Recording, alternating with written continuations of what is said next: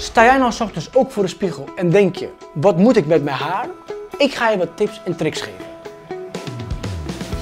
Je pakt een scheiding achter het oor tot op achter onderaan de kruin. Dan doe je aan de andere kant precies hetzelfde. Pak ik het haar, gebruik ik mijn handen als een kam. Doe je een knot achter op het hoofd.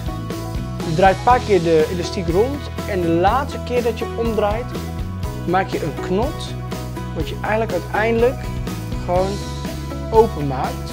Bij de bakkenbaren trek je het haar iets los, waardoor het een heel nonchalant effect kan krijgen. Pak je een klein beetje pasta en vervolgens doe ik het onder het haar om wat meer stevigheid hier te krijgen.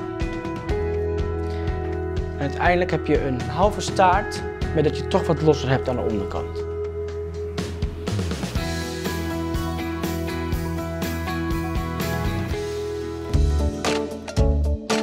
Mijn handen als een kam. Aan de voorkant laat ik wel twee plukken los, omdat ik het wat uh, losser wil houden. Kam ik het haar allemaal naar achteren. Maak ik een lage staart op haar hoofdhuid. Vervolgens maak ik een, een gaatje boven de elastiek naar beneden. Pak ik de staart en die flip ik eigenlijk in het gat die ik gemaakt heb. Maak ik eigenlijk weer iets nonchalanter. En ik ga aan de bovenkant op haar kruin, hou ik het staartje een beetje vast hier. En dan ga ik het eigenlijk iets omhoog duwen om iets meer volume op haar achterhoofd te maken.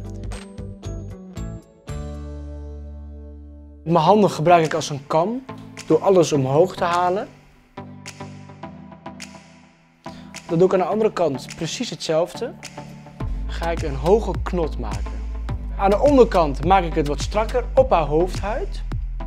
De laatste draai van het elastiekje pak ik de staart en die haal ik zo naar buiten.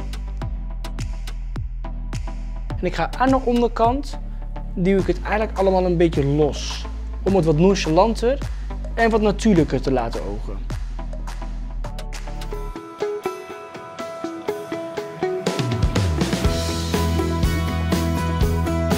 Hebben nu drie eenvoudige kapsels gemaakt. Ik hoop dat je er wat aan hebt en heel veel succes met proberen.